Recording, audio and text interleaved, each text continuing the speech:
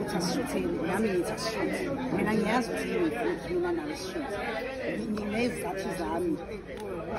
wena ezisile zazo bakwethu la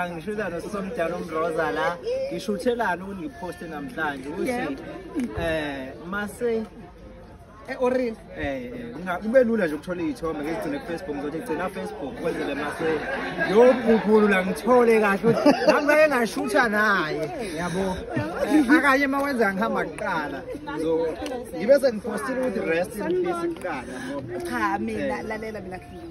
ngiyobeka ukuthi pe ngizwa nje ucima nje uma uyisibhedlela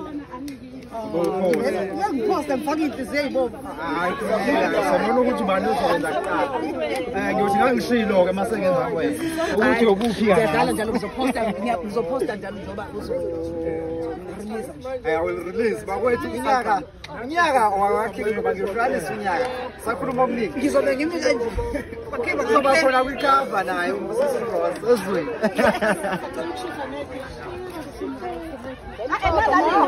lalela ney'nduna ziyamcela zitho wamthatha amanye